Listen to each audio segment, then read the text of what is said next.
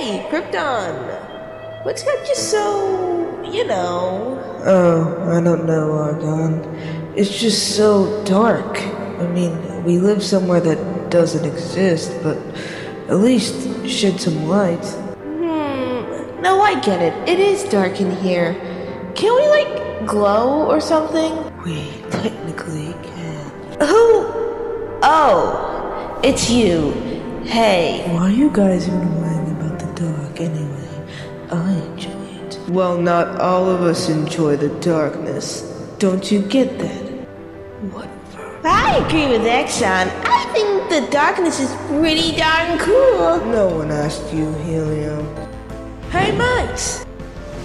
We actually glow because our electrons are energized, or as they called, excited, and they go up in a what do you call it? A ring, I guess. That's why we glow.